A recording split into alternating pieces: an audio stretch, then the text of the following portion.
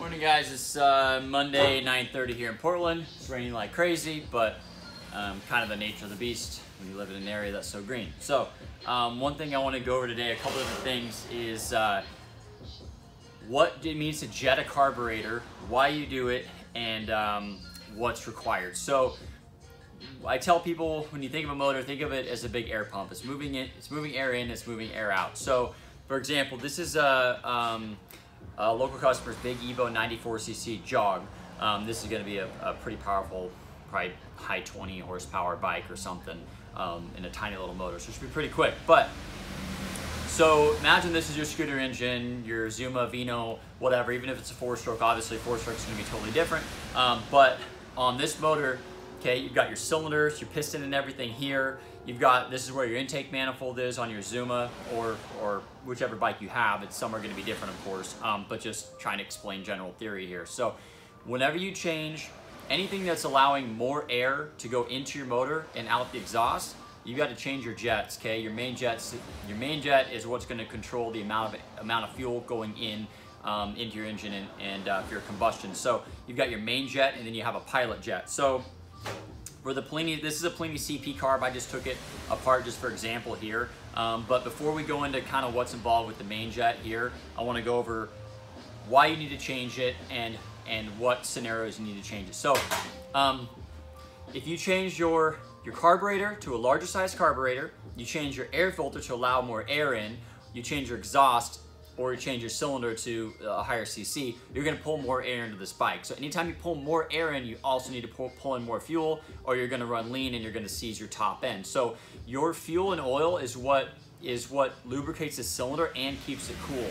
So if you're short on fuel or you're short on oil, um, you're gonna have a lack of lubrication and you're also gonna run too hot typically seizing your, your cylinder here, and I've seen um, rod issues or, or, or, bottom end issues as well too with lack of lubrication. So because your, your fuel is gonna mix with your oil, so that's kind of a, um, well, it's, it's everything to make these things run right. So um, again, if you change, you know, on this bike, you're typically gonna have an intake manifold, you're gonna have a carburetor and an air box. If you take this air box off you put on a pod filter or you drill holes in it or whatever to allow, introduce more air into your engine, you need to change your jetting. Um, and then with your exhaust, if your exhaust is bigger, de-restricted, whatever, you've got to change your jetting as well. So um, whether or not you have an OEM carb or an aftermarket carburetor, there is going to be the same. I will say if you have an original OEM carburetor, 90% of the time you cannot change your pilot jet. In your pilot jet, you have two jets typically in a carburetor. Uh, Dellortos have three, but two main jets you're concerned about is one, that's your main jet that controls like, it's a little bit of a mix around half throttle to full throttle, I'll just say that. Um, it blends in with the pilot, of course, in a, in a, how can I explain it? When you give a bike throttle, depending on how far open this slide is, you're gonna, you're gonna, your fuel's gonna be coming from your, your idle, your, uh, your pilot jet, and it's going to mix, and then it's gonna go transfer over to your main jet. So, um, and I'll explain to you how that works, why it works, and, and what it does, and, and what you need to do. So, first off, again, uh, car, if you change your carburetor, if you change your airbox, if you change your cylinder or your exhaust, you need to you need to uh, change your jetting. So um, I'll explain here. And again, I've already taken the bowl off this carb. This is a Polini CP. This is your bowl. This is a really, really awesome carb. We sell a ton of these things and it's it's Italian made, which is really nice. So um, you've got your float here and your float is what controls the uh, level of fuel that's gonna be in your bowl, okay? As this bowl fills up with gas, this float is gonna close shut and it's gonna shut this valve here. Um, this little uh, valve here is gonna stop the flow of fuel. So in this carburetor, you've got your main jet here. This is your main jet, the big one in the middle. And then this is your, your pilot jet. I will say you need to make sure you use the right size screwdriver to take this pilot jet out. If you use the wrong one, you're gonna damage this pilot and you're gonna ruin it. You're gonna have to use it easy out to get it out. So this is your emulsion tube, okay? This has holes in it to, to atomize the mixture of gas and fuel. So this pilot jet simply comes out, obviously, I've already pre-loosened it, but this pilot jet comes out like this and it's got a number on it. So um, whether you have a Dellorto, a Mikuni, whatever, you pull your bowl off, which is this guy here, it's got screws holding it on, you pull a bowl off, and you've got access to your jet. So you need to do your research on what jets are which and what size you need to go to, but anytime you introduce more air into your engine, you need to change this jet and you need to change this one. On an OEM carburetors, you typically cannot change this pilot jet. That's why when you go to a big bore kit and you do a bigger carburetor, or when you go to a big bore kit and do stuff, it's always best to run an aftermarket carburetor. So um, again, this is a Polini CP. This is your air idle mixture here. This is your idle speed mixture here. This is for vacuum, for a vacuum petcock, and this is for your oil mix if you have um, oil injection still. And this is your choke. So you start it, that's your choke and then it shuts down. So I'm gonna take the top cap off and kind of show you um, how this how this slide works and how it controls fueling on your main jet. So just bear with me here and I'll take that top cap off. So I'm gonna make this video somewhat short because I have, and thank you for, for everybody's orders, but um, we have massive, massive, massive amount of orders going out today. I'm gonna be working nonstop uh, filling those orders. So Okay, so I pulled the top cap off. We've got a spring here that keeps the slide down, but I'm just gonna show you guys how this works. So this slide moves up and down, and, and as it does that, this needle, which I'll take out here, okay, this is your needle that controls the amount of fuel going through your main jet. That's your needle clip, and what that does is allows you to raise this needle up or down to allow more or less fuel in. This has a taper to it as well. So I'm just gonna take out the main jet so you can see, but basically, this guy slides down inside there and you can see it drops right into the main jet and controls the amount of fuel as you open the slide. As you pull your cable, this slide is gonna open, allowing more air in, and as you can see, it's also gonna let in more fuel until you're wide open throttle, and that main jet is wide open, but you can see how it meters it as, it's, as you're going up and down, okay?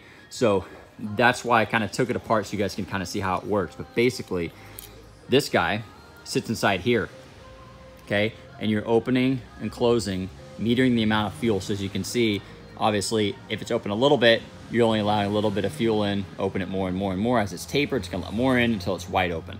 So that's how your main jet works. That's how your needle works. It's pretty basic stuff, but this helps you guys understand how it goes in. Also, I will say, if your slide, if you're having a problem, you do your carb and your slide's not all the way down, your, idle, your bike's running really high uh, RPM, when you start it, it's because your slide is not in properly. If you take this slide See how it has a groove. Every carb's different. If you look, there's a groove on that side. There's a little pin sticking out and there's a groove here. If you don't line that up, okay, and you get it sideways or whatever, it doesn't fit into place. It doesn't go down all the way.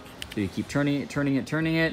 And this is the same with OEM carbs. They have a groove, drops right down. So if you have a problem with your bike running high, like crazy RPM when you start it, you've done some work, spin this guy around, it'll half drop into one position, which obviously that's not the right one. And then you keep rolling around rolling around, and it'll drop right down like that. So if your car, if your slide doesn't drop right down like that, then you, you don't have it on right. So, um, so hopefully that explains how the, how the uh, main jet works and how it's metered. Um, but, and also how the slide lets in air as it lets in more air. So, and if you've got a bike and you're not jetted properly, right, you have it wide open, you're letting in all the air, but you're not letting in enough gas. So the other thing too is when you shut your slide down to here, you're doing a wide open throttle pull, you shut your slide, now you've got that main jet shut. If you still have your stock pilot jet in and you're running a big bore kit, a pipe or whatever, you're getting enough fuel for a stock cylinder so you're gonna run lean and typically it's not gonna cool down. So a lot of times guys end up burning up their cylinders because they're they're running a stock carburetor with, with work done to it and they're not running the OEM airbox. So, so just kind of wanted to go over what jetting is, why it's important, um, how it controls your, your fuel and cools your bike down. So uh, one thing I suggest anytime you do a bike, uh, do a build, grab a uh, Trail Tech temp gauge at least because that's that's going to be cheap insurance. They're 55 bucks with us. Ours have extensions where um, they'll they'll be cheaper online without extensions, but they're not long enough to get to your headset. So um, your temp gauge, for example, on this bike, this is a temp gauge because it's a liquid cooled bike and it's gonna read the water temperature in the head. Um, if you have an air cooled bike, you're gonna put it around this, you're gonna put it around the spark plug here. It's a 14 millimeter ring that goes around the spark plug and tells you your temp. I like to tell people, um, I like to be in the range, so wide open throttle, um, I like to be in the range of uh, 350 to 375. I have never seized a cylinder. I have never overheated a bike ever but in that range ever. I've never had any problems with all my bikes or all the bikes run really good right in that range. Um, I've had some bikes up to about 420, 430. That's really, really, really bad. Um, but we were lean. It was in uh, uh, Tennessee and the air and everything is different there and all of our bikes ran super, super hot. So um, that being said, if you're low 300s, basically the lower you are, the less power you're gonna have, the more likely you are to foul plugs. The higher you are, the more power you're gonna get, but the higher risk you run of running lean. So I like to tell people 340, 350 to 375 is kind of the safe area. The more you go towards 375, the less room you have for air. Say you tune your bike wide open throttle, 375 is right where you are and it doesn't go higher than that. Um, you have less room for, for air, like let's say you go on a ride and your exhaust gasket starts leaking. So let's say you're 375, right? Wide open throttle, and then you cool down, you go in and have a beer. Well, obviously don't do that, don't drink and ride. Uh, go in and, and, do whatever it is you need to do. Um, and then your exhaust gasket forms a little leak, go out and ride. Now you've got less room for error because you're gonna, your exhaust gasket has a leak, you're gonna run leaner because as your piston comes in, it's gonna pull air in, in through there, right? It's gonna, it's gonna pull air in that doesn't have fuel mixed through the exhaust leak. So your temps are gonna go up. So the higher you are to 375, the less room for error you have if you have a problem. Where the lower you are, if you've got an exhaust leak and say you normally 340, well now you may be running 370 and you can at least make it home. Whereas if you're 370 and then you have and then you have a problem on your ride, then you're gonna be up in the 400s trying to ride. I had a Honda Dio like this one, um, and I was 360, 370-ish, and then um, blew out an exhaust gasket before we started selling the copper ones, versus the paper ones, which suck and they blow out. When they blow out, you can't fix them. Um, so it was uh, me and Ed, we were out on Highway 84, um, way out that by the Vista House, if you know Portland. Uh, not I-84, but out east. And uh, we had to pull over and I had to take a bunch of chewing gum foil and bend it, bend it, bend it, and make a gasket out of it just to limp home. And I could give it throttle, let off, give it throttle, let off. And it would just spike to like 390, 395, then back down again. 390, 395, back down again. So it got to a point where it was close to seizing and then to cool down. Close to seizing just to get myself home.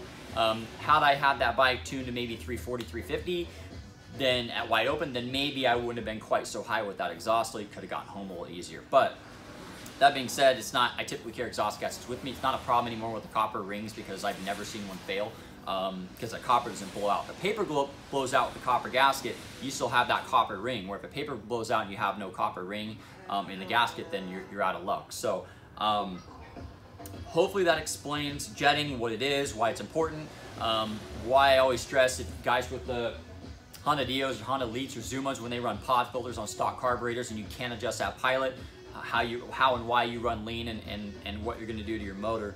Um, and uh, um, some carburetors, some carburetors you can change the pilots out, some you can't when it comes to OEM. Uh, Honda or Yamaha Zumas actually have replaceable pilots, but I've never been able to find one for sale at all. So um, I don't think Yamaha, I don't know if Yamaha even offers different sizes on their OEM pilots. So if you have a stock carburetor, you do a bunch of work, and you don't want to put an aftermarket carburetor on it, leave your stock airbox on.